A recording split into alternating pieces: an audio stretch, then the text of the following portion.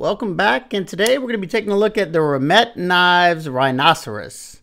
Picked this one up off of Amazon. I thought it looked pretty cool. It's a button lock. You got a nice drop point blade here, and it's a medium-sized EDC knife at 7.32 inches with a 3.15 inch blade.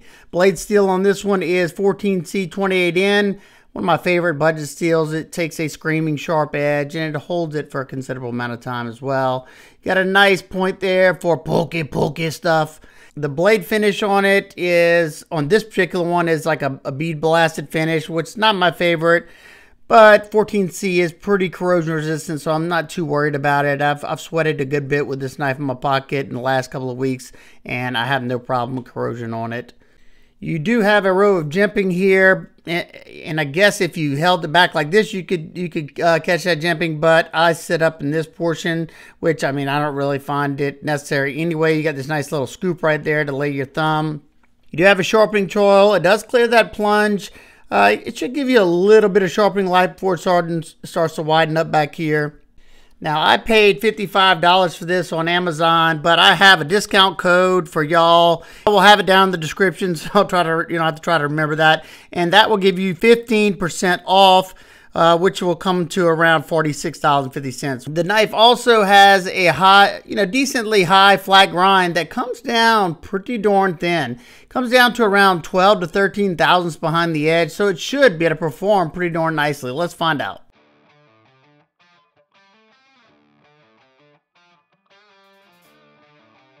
This is my fourth Remette knife, and one thing that I can say for sure is they know how to sharpen a knife, and so far, hopefully this is the same, all of them uh, have performed really, really well, especially for their price point. Um, that's one thing that I kept in mind anytime I'm, I'm testing their knives. They they over they went over and beyond, at least uh, in my opinion. But we got a drop point here with a high tip, so I was just kind of trying to do these long cuts, make sure I'm going to slide out of the cut. Um, no problem. And it was performing really, really nice. Blasting through the cardboard uh, effortlessly. And it didn't feel like it was letting up at all.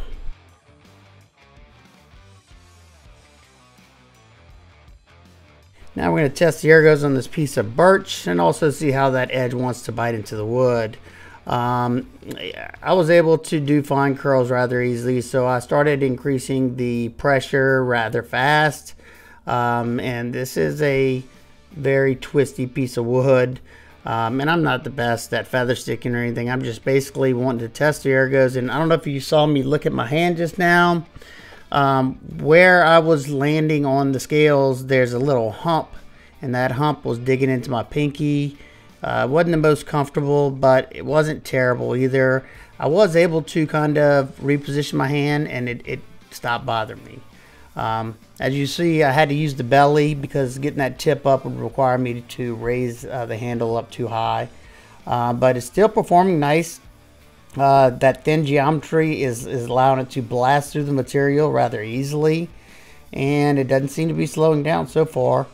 Um, I expect I expect a lot now, and so far so good. A lot of aggression going through the denim. Uh, you can definitely feel that uh, that belly biting into whatever I was cutting. And with that extra belly, it does make cutting on a flat surface a lot easier because you can use that belly to start your cut, push it toward into what you're cutting. Uh, into the half inch sisal rope, still push cutting, and uh, doing it rather easily. Um, I'm, I'm putting minimal pressure into the rope because my hands are all blistered up right now from testing too many of these knives. And uh, I was pretty surprised by how well it was still performing. I thought I would kind of start to get hung up, but nope, it's still doing very, very well. Um, we end up getting through 51 cuts, which was outstanding, and it still feels like it's pretty sharp. Uh, we'll try, if I remember, we'll test that edge, but um, even if it's not sharp up there in the front, I'm still more than impressed with 14C because that's, you know, what I do with some of these super steels. Uh, so, very good job for the most part.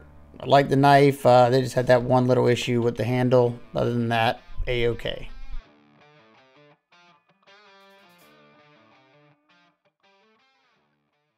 All right, now let's test that edge. I've always had good luck with their uh their edges. Yeah, I mean, look at that. That's pretty pretty darn nice. All right, now let's talk about the deployment and the action. Now, this is where it's kind of kind of funny because it's, it's, a button lock, and you know, in order to get the brake on a button lock uh, down right, you have to have it set up pretty good. Now, I noticed right at the back, it's got a pretty, you know, stout detent, or perfect, should I say.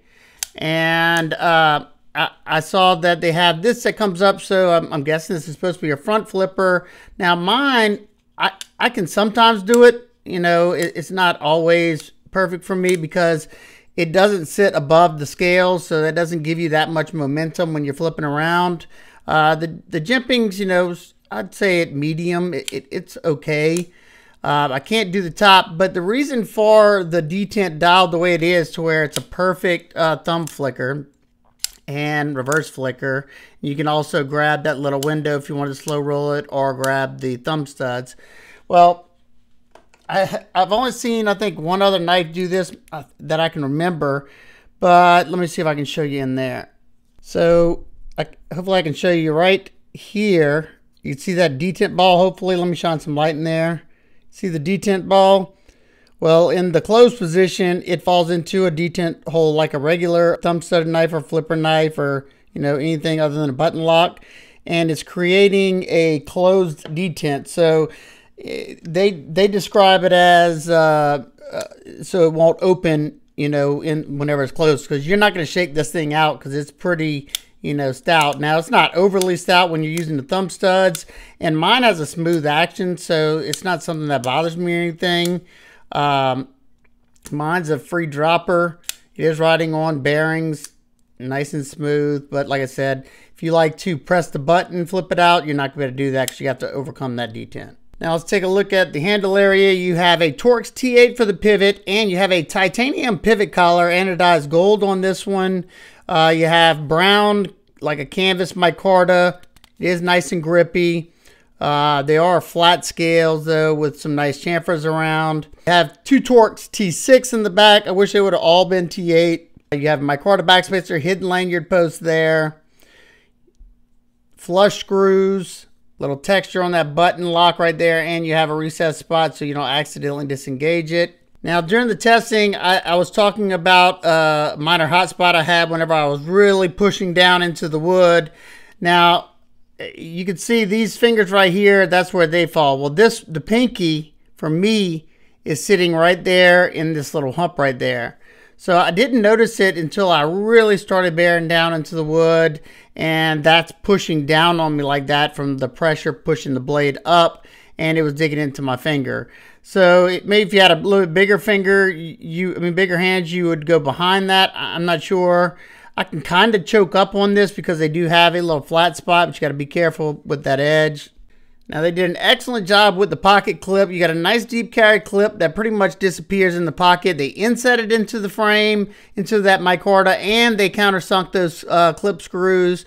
You got enough ramp there. It's not too much, and it goes in and out of the pocket nicely, but they missed the mark by not making it tip for lefties. I, I don't understand that. You're, you're excluding a part of the market, and lefties could easily use this knife. So that doesn't really make sense to me.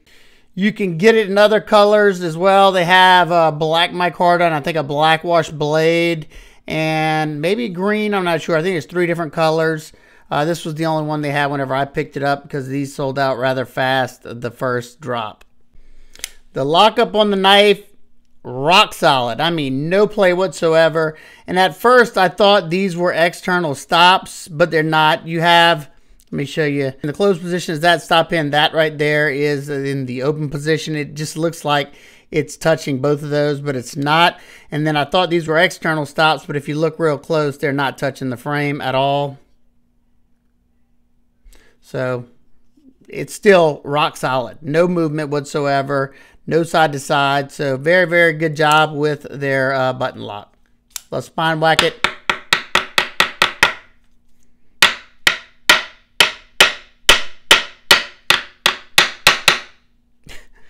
dented up my table. Very, very good job. Solid. Now for some size comparisons, we have the Ontario Rat Model 1 and 2. QSP Penguin and Civivi Elementum. And last, we have the Remette hand-filled knife and the Vosteed Corgi. All right, now for my nitpicks complaints. I don't love bead blast. Like I said, 14C tends to not corrode as easily as some. And uh, I think they missed the mark for not having it tap for lefties as well, since you can access it left-handed rather easily. Now it's just going to depend on how you feel about the detent ball system in the closed position. If you like a nice snappy action, I think you're going to like this knife a lot. Um, and also I would have liked to see T8 hardware throughout. But at my with my discount code at the $46.50, can I recommend the knife? Yes, definitely. It performed really nicely. It's got a nice smooth action. And unless I'm really, really bearing down, it was nice and comfortable as well. And it's just going to depend on where your finger lands here. But other than that, if you have any questions, comments, concerns, please leave them down below. I hope everybody's having an absolute amazing day. I will see y'all on the next one. Peace.